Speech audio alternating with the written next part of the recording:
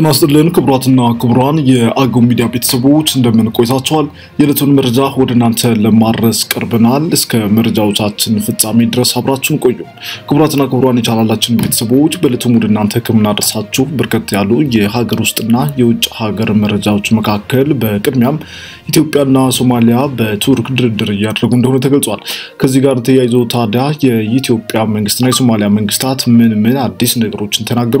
ይህ ድርድርስ ምን ያክል ስኬታማ ሊሆን ይችላል የሚለውንና ቱርክ ስለ ጉዳዩ ያወጣችውን መግለጫ በአንድ ላይ አድርገን ወደ እናንተ የምናደርስ ነው የሚሆነው። በርካታ የአፍሪካ ሀገራትንና ምዕራባውያንን ትኩረታቸውን እየሳበው ይህ የቱርኩ የሶማሊያና የኢትዮጵያ ድርድር በምን ሁኔታ ሊጠናቀቅ እንደሚችልና መጨረሻውስ ምን ሊሆን ይችላል፣ አሁን ያሉ አዝማሚያዎችና የድርድር ጥያቄዎቹስ ምንድን ናቸው የሚለውንም በዝርዝር እናስደምጣችኋለን። ወደ ውጭ መረጃ ደግሞ ስንሸጋገር የሩሲያ ጦር ሁለት የዩክሬን መንደሮችን መቆጣጠሩን አስታወቀም። የሩሲያ ጦር የዩክሬን መንደሮችን እየተቆጣጠረና ሙሉ በሙሉ ያሰበበትን ለማሳካት በፍጥነት እየተጓዘ እንደሆነ ባወጣው መግለጫ ጠቁሟል። የዩክሬን መከላከያ ሚኒስቴር ደግሞ ባወጣው መግለጫ የሩሲያ ጦር አዲስ መንደሮችን አልያዘም፣ ውሸቱን ነው፣ እንዲሁም በአንድ ጀንበር ብቻ ከአንድ ሺህ በላይ የሩሲያ ወታደሮች ተገድለዋል ሲልም የዩክሬን መከላከያ ሚኒስቴር አስተባብሏል። ይህን መረጃም በዝርዝር የምናስደምጣችሁ ነው የሚሆነው። በሌላ መረጃ ደግሞ ሰሜን ኮሪያ ባሊስቲክ ሚሳይሎችን በማስወንጨፍ አሜሪካን ማስጠንቀቋ እያነጋገረ ይገኛል። ሰሜን ኮሪያና መሪዋ ኪም ጃንግ ኡን ዓለም አቀፍ ሀያላን ተብለው የሚታሰቡትንና ምዕራባውያን ሀገራትን ያለምንም ፍራቻ ቀደም ባሉ ጊዜያት ጀምሮ በማስፈራራት ላይ የምትገኝ ሀገር ሲሆን እንደሚታወቀው በተለያዩ ጊዜያት ባሊስቲክ ሚሳይሎችን ለሙከራ ታስወነጭፋለች። ዛሬ ታዲያ ሰሜን ኮሪያ ባሊስቲክ ሚሳይሎችን በድጋሚ ያስወነጨፈች ሲሆን ይህም አሜሪካን ለማስጠንቀቅ የተደረገ ነው ተብሏል። በዚህ ጉዳይ ዙሪያም የወጣውን መረጃ በዝርዝር ወደ እናንተ እናደርሳለን። ክቡራትና ክቡራን የቻናላችን ቤተሰቦች እነዚህንና መሰል አጫጭር መረጃዎቹን እስከ ፍጻሜ ቆይታችሁ ተከታተሉ ዘንድ ግብዣችን ነው። ለቻናላችን አዲስ ከሆናችሁና በየዕለቱ አዳዲስና ትኩስ ሀገራዊ እንዲሁም ዓለም አቀፋዊ መረጃዎቹን ለመከታተል ከፈለጋችሁ subscribe በማድረግ ቤተሰብ ሁኑ። እንዲሁም ቪዲዮውን like በማድረግና ሀሳብ አስተያየቶቻችሁን comment ላይ በመጻፍም አብሮነታችሁን አሳዩ። በቀጥታ ወደ መረጃው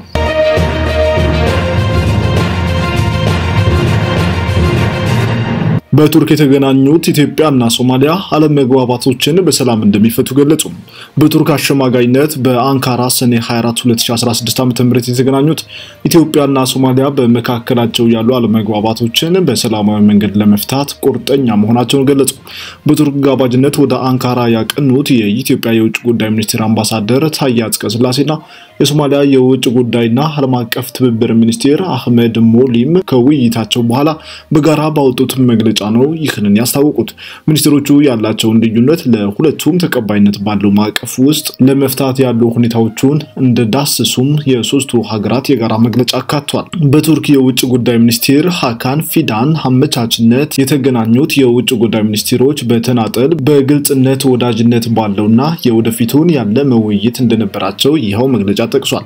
ራሷን በነጻ ሀገርነት ካወጀችው ሶማሌላንድ ጋር ከስድስት ወራት በፊት በተፈረመ የባህር በር መግባቢያ ምክንያት ውዝግብ ውስጥ የገቡት ሁለቱ ሀገራት የተፈጠረውን ውጥረት ለማርገብ ሲገናኙ ይህ የመጀመሪያቸው ነው። ሁለቱ ሀገራት መልካም ጉርብትናንና ቀጠናዊ መረጋጋትን ከግምት በማስገባት መፍትሄዎቹን ለማመላከት ያለመ ምክክሮቹን ለመቀጠል መስማማታቸውን ገልጸዋል። በዚህ መሰረት ሚኒስትሮቹ ለሁለተኛ ዙር ውይይት በአንካራ ነሐሴ 27 2016 ዓ ም እንደሚገናኙ ገልጿል።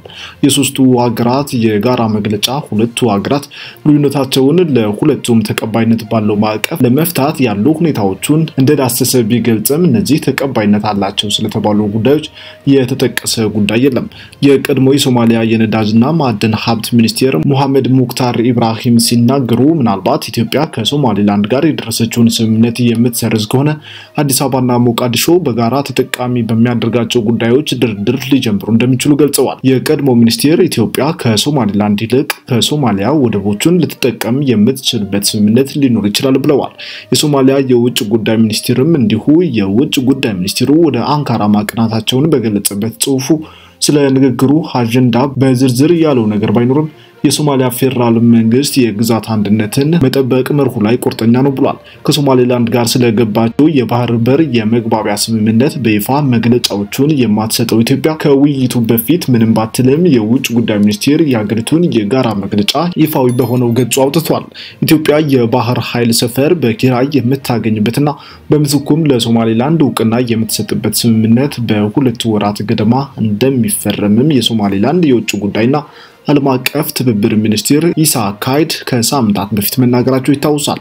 ኢትዮጵያ ራሷን እንደ ነጻ ሀገር ካወጀችውና በዓለም አቀፍ ደረጃ እውቅና ካላገኘችው ሶማሌላንድ ጋር 20 ኪሎ ሜትር የሚሸፍን የባህር ጠረፍ ለማግኘት የፈረመችው የመግባቢያ ስምምነት ሶማሊያን በእጅጉ አስቆጥቶ በቀጠናው ከፍተኛ ውጥረትን ያስከተለ ሆኗል። ከሶማሊያ በኩል ተደጋጋሚ ክሶችና መግለጫዎች ከመቅረባቸው በተጨማሪም ጉዳዩን ወደ መንግስታቱ ድርጅት የጸጥታ ምክር ቤት ወስዳለች። በቅርቡም ከአፍሪካ ህብረት ተልዕኮ ውጭ የሆኑ የኢትዮጵያ ወታደሮች በህገወጥ መልኩ ድንበር ተሻግረው ወደ ሶማሊያ ገብተዋል ስትል በተመድ የጸጥታ ምክር ቤት ከሳለች። በበኩሏ ሶማሊያ ያቀረበችው ክስ መሰረተ ቢስ ነው ስትልም ኢትዮጵያ ማጣጣሏ ይታወሳል። በተጨማሪም ኢትዮጵያ ከሶማሌላንድ ጋር ያላትን ስምምነት አዲሱ ተልዕኮ ከሚወሰንበት ከሰኔ መጨረሻ በፊት ካልሰረዘች በአትሚስ ስር እንዲሁም በሁለትዮሽ ስምምነት የሰፈሩት ሁሉም የኢትዮጵያ ሰራዊት አባላት ከሀገሪቱ እንዲወጡ እንደሚደረጉም የአገሪቱ የብሔራዊ ደህንነት አማካሪ ሁሴን አሊ አስጠንቅቀዋል። ለ17 ዓመታት ያህል ወታደሮቿን በሶማሊያ አሰማርታ የምትገኘው ኢትዮጵያ በበኩሏ ወታደሮቿን እንድታስወጣ ከተፈለገ በይፋ ጥያቄው ሲቀርብ ተግባራዊ እንደሚሆን የውጭ ጉዳይ ሚኒስትር ቃል አቀባይ አምባሳደር ነቢዩ ተድላ ጠቁመዋል። ከሶማሊያ መንግስት ከአፍሪካ ህብረትም ይሁን ከተባበሩት የመንግስታቱ ድርጅት ኢትዮጵያ በሶማሊያ ያለውን ኃይሏን ታስወጣ የሚል በይፋ የቀረበ ነገር የለም ብለዋል። ዘገባው የቢቢሲ ነው። የውጭ መረጃ ነው።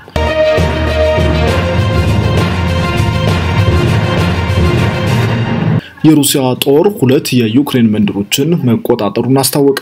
ጦሩ በተከታታይ አዲስ መንደር መቆጣጠሩን ሲያሳወቅ ይህ ሁለተኛው ነው። የዩክሬን መከላከያ ሚኒስቴር ባወጣው መግለጫ ደግሞ የሩሲያ ጦር አዲስ መንደሮቹን አልያዘም ሲል አስተባብለዋል። የሩሲያ መከላከያ ሚኒስቴር ትናንት ባወጣው መግለጫ የሩሲያ ጦር በምስራቅ ዩክሬን ሁለት መንደሮችን መቆጣጠሩን አስታውቋል። የሩሲያ መከላከያ ሚኒስቴር የሩሲያ ጦር በካርኪቭ ግዛት የስቴፖ ኖቮስሊቭካ መንደርንና በዶኔስክ ግዛት ደግሞ ኖቮፖፕሮቭስኪ መንደርን ተቆጣጥሯል። የዩክሬን ጦር ዋና አዛዥ ምሽቱን ባወጣው ሪፖርት በካርኪቭ አቅራቢያ በኩፒያንስ የተቃጡ 17 ጥቃቶችን መክቶ መመለሱን ጠቅሷል። ዋና አዛዡ ጦርነቱ በምስራቅ አቅጣጫ በሲንኪቭካ እንደቀጠለ ነው ብለዋል። ሩሲያ ኃይሎች ባለፈው የካቲት ወር አብዲቪካን ከተማን ከተቆጣጠሩ ወዲህ በርካታ መንደሮችን መቆጣጠር ችሏል። በምስራቅና ደቡብ ዩክሬን 1000 ኪሎ ሜትር በሚሸፍነው የጦር ግንባር ዶኔስክና ካርኪቭ ዋነኛ የትኩረት ቦታ ናቸው። የሩሲያ ጦር ሁለቱን መንደሮች መቆጣጠሩን ከመግለጹ ከአንድ ቀን በፊት የዩክሬን ጦር በእነዚህ ከተሞች አቅራቢያ የተቃጡ ጥቃቶችን መከላከል መቻሉን ገልጾ ነበር። የምሽቱ የዩክሬን ጦር አዛዥ መግለጫ በሁለቱም አካባቢዎች ከባድ ጦርነት እየተካሄደ መሆኑን ገልጿል። አዛዡ 44 የሩሲያ ጥቃቶቹን መመከታቸውንና 14 የሚሆኑ ግጭቶች እየተካሄዱ እንደሚገኙም አክሎ ተናግሯል። የዩክሬን ጦር እንደገለጸው ከሆነ ሩሲያ በሰሜናዊ የዩክሬን ድንበሮች ቸርኒቢህና ሱሚ ግዛቶች ከፍተኛ ቁጥር ያለው ኃይል አሰማርታለች። ሩሲያ አዲስ ግንባር ልትከፍት ስለምትችል በእነዚህ አካባቢዎች ጥብቅ ቁጥጥር እየተደረገ ነው ብሏል። ጦሩ ሩሲያ በፈረንጆቹ የካቲት 22 በዩክሬን ላይ የከፈተችው ልዩ ወታደራዊ ዘመቻ ሊቆም አልቻለም። በዩክሬን እያካሄደች ባለው ዘመቻ ከምዕራባውያን የማዕቀብ ናዳ የወረደባት ሩሲያ በከፊል የያዘችውን አራት የዩክሬን ግዛቶች ሙሉ በሙሉ እስከምትቆጣጠር ድረስ ጦርነቱ እንደሚቀጥል መግለጿም ይታወሳል ሲል የዘገበው አል አይን ነው። በሌላ መረጃም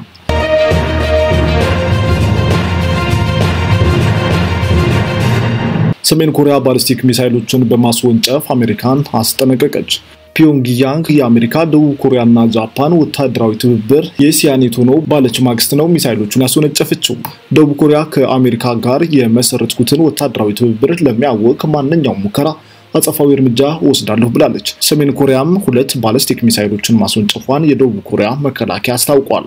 ፒዮንግያንግ ለአሜሪካ፣ ደቡብ ኮሪያና ጃፓን የጋራ ወታደራዊ ልምምድ ከባድ ምላሽ ሰጣለሁ የሚል ዛቻ ባሰማችው ማግስት ነው ሚሳይሎቹን ማስወንጨፍ የቻለችው ተብሏል።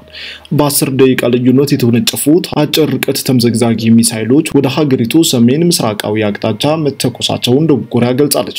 የመጀመሪያው ሚሳይል 600 ኪሎ ሜትሮችን ከተጓዘ በኋላ ቾንግጂን በተባለ አካባቢ የውሃ ዳርቻ ውስጥ መውደቁ የተነገረ ሲሆን ሁለተኛው ግን 120 ኪሎ ሜትሮችን ከተጓዘ በኋላ ሳይፈነዳ እንዳልቀረ ተገልጿል። ሴኡል በዛሬው ዕለት ፒዮንግያንግ ያደረገችውን የሚሳይል ሙከራ ጸብ አጫሪና የኮሪያ ልሳነ ምድርን ውጥረት የሚያባብስ ነው ያለች ሲሆን ከአሜሪካ ጋር የመሰረተችውን ወታደራዊ ትብብር ለሚያውክ ማንኛውም ድርጊት ለመመከት አጸፋዊ እርምጃ እንደምትወስድ ዝታለች።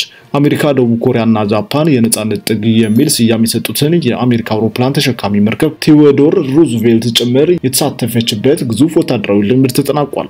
ሰሜን ኮሪያ በትናንትናው ዕለት ባወጣችው መግለጫም አሜሪካ ከደቡብ ኮሪያና ጃፓን ጋር የእስያ ኔቶን የመሰለ ወታደራዊ ጥምረት እየመሰረተች ነው ስትል መውቀሷ ይታወሳል። ደቡብ ኮሪያ ወደ ዩክሬን የጦር መሳሪያዎቹን ልካለሁ ማለቷን የዚህ ማሳያ አድርጋ ያቀረበች ፒዮንግያንግ አሜሪካ በኮሪያ ልሳነ ምድር ውጥረት እንዲባባስ እያደረገች ነው በሚል ከሳለች።